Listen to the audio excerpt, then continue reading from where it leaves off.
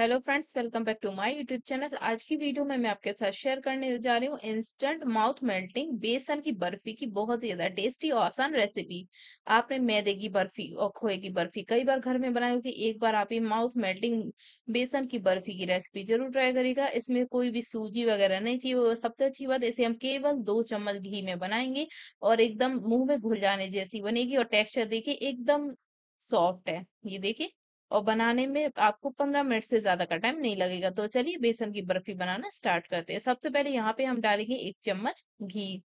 घी जैसे ही गर्म हो जाएगा, इसमें जाएगा एक कटोरी बेसन।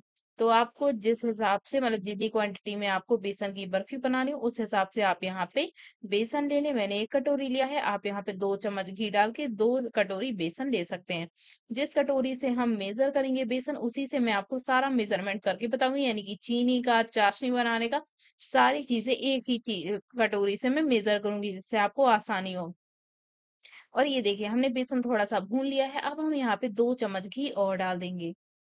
और यहाँ पे बस, इसके बाद हमें घी नहीं डालना अब हमें इसकी बढ़िया से करनी है भुनाई। तो इसकी भुनाई करने में करीबन आपको 10 से 12 मिनट का टाइम लग जाएगा, मीडियम लो फ्लेम पर। एकदम अच्छे से भुनाई करिएगा। जब से महक आने लगेगी, तब तक हम इसकी भुनाई करेंगे। तभी आपकी बर्फ़ी एकदम बढ़िया बनेगी। और ये देखिए, टेक्सचर एकदम बढ़िया हो गया है। देखिए दाना दाना अलग हो गया बेसन का ये अच्छे से भुन चुका है। अब इसमें जाएगी बारीक कटे हुए बादाम और इसके बाद मैं यहाँ डाली खरबूजे के बीज, जो कि बेसन के लड्डू में डालते हैं और बेसन की बर्फ़ी में डालते हैं। इन्हें हम साथ में बेसन के थोड़ा सा एक दो मिनट के लिए भून लेंगे, जिससे कि ये थोड़े से क्रिस्पी हो जाएँगे इनमें क्रंच आ जाएगा। तो खाने में ये बहुत बढ़िया लगते हैं।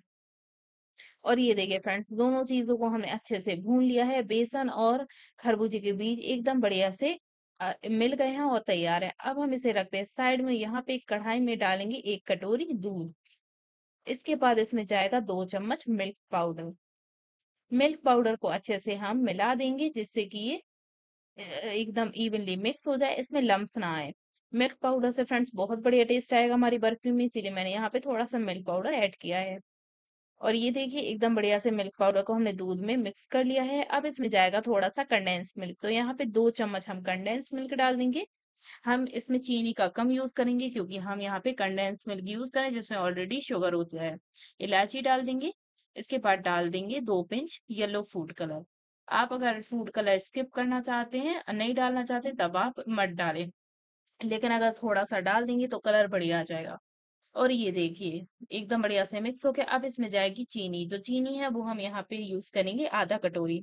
एक कटोरी बेसन के लिए आधा कटोरी चीनी एकदम सफिशियंट है। वैसे तो आपको एक कटोरी ही डालनी चाहिए अगर आपको मिल्क पाउडर इसमें यूज़ नहीं करना है और कंडेंस मिल्क मैंने दोनों चीज़ें यूज़ की इसीलिए थोड़ी सी चीनी की क्वांटिटी घटा दी है। अच्छे से मिलाएँगे और एक बॉयल आने देंगे। और ये देखिए, इसमें एक और बॉयल आ चुका है। अब इसमें डाल देंगे भुना हुआ बेसन। फ्लेम को लो करेंगे और अच्छे से मिक्स कर लेंगे। जैसे ही हम मिक्स करेंगे, पहले आपको लगेगा ये पतला है, यानी कि बहुत ज़्यादा गीला है, लेकिन जब आप इसे मिक्स करते रहेंगे थोड़ा सा पका लेंगे, तब ये थोड़ा सा थिक हो जाएगा और अपने आप कढ़ाई को छोड़ने लगेगा। बस उस स्टेज तक हम इसे चलाते रहेंगे। यही एकदम परफेक्ट कंसिस्टेंसी होती है। और ये देखिए, ये कढ़ाई को छोड़ने लगा, एकदम बढ़िया कंसिस्टेंसी आ चुकी है। अब हमारी बर्फ़ी अच्छे से सेट हो जाएगी। तो इसका एकदम डो फॉर्म होने लगा है। अब हम इसे ट्रांसफ़र कर देंगे एक प्लेट में। तो प्लेट को हमने पहले से घी से ग्रीस कर लिया था, क्योंकि बाद में टाइम नहीं मिलता, जैसा कि आपने देखा, हमने तुरंत ही इसे ट्रांसफ़र कर दिया। अच्छे से चिकना करेंगे और इसके बाद अब हम इसमें डाल देंगे थोड़े से चॉप्ड किए हुए ड्राई फ्रूट्स। तो यहाँ पे मैं बादाम डाल रही हूँ। आप बादाम, पिस्ता दोनों भी डाल सकते हैं। दबा देंगे और इसे रख देंगे दस मिनट के लिए। जब ये सेट हो जाएगी, तब इसमें कट लगाएँगे। तो यहाँ पे ये बर्फ़ी हमारी सेट हो चुकी है अच्छे से। अब हम इसमें कट लगा देते हैं। आप इसे अपने मनचाहे शेप का कट कर सकते हैं। आप चाहे तो इसके पेड़े भी कट कर सकते हैं या फिर मैं जैसे स्क्वायर शेप कर रही हूँ, वैसे भी आप कट कर सकते हैं। चाहे तो आप इसे डायमंड शेप का कट करें, जैसे कि कतली बनती है, बिल्कुल वैसे ही। अब मैं आपको निकाल के भी दिखा देती हूँ।